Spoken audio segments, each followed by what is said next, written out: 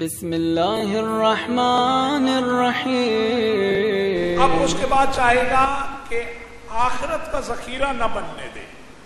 اس دنیا سے جانے سے پہلے پہلے آپ سے چھین لے۔ تو ہر آن حملہ کرتا ہے۔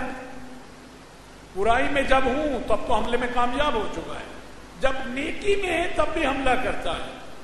نماز جیسی عبادت آپ قیام میں ہیں وہ حملہ کرتا ہے۔ آپ رکو میں ہیں، وہ حملہ کرتا ہے۔ نماز میں بہترین عمل، آپ سجدے میں ہیں، وہ حملہ کرتا ہے۔ آپ سلا رحمی کرنا چاہتے ہیں، وہ حملہ کرتا ہے۔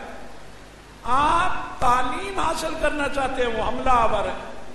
آپ ایک مومن کے ساتھ اپنے رشتے کو مضبوط کرنا چاہتے ہیں، وہ حملہ آور ہے۔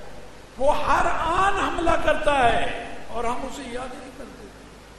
ہمیں اگر معلوم ہو ہمارا دشمن ہے، ہم جو بھی عمل کرتے ہیں وہ اسے ضائع کرنا چاہتا ہے اس عمل میں نیکی میں رکاوٹ بننا چاہتا ہے، تو تب ہم ایک بلاخر ایک قدم اور آگے بڑھیں گے، خود کو مضبوط کریں گے۔ ہم غفلت میں ہیں۔ سب سے بڑی غفلت کیا ہے؟ ہم بھول گئے ہیں کہ ہم اس دنیا میں آئے کیوں ہیں۔ ہماری زندگی کا مقصد کیا ہے؟ اگر ہمیں یہ یاد رہے اور یہ بھی یاد رہے کہ اس دنیا سے جانا ہے، اس میں بہت ہی عارضی طور پہ ہم آئے ہیں۔ تو یقین جانے، بہت سی چیزیں ایسی ہیں، ان کی ضرورت نہ پڑے۔ اللہم صل علی محمد وآل محمد۔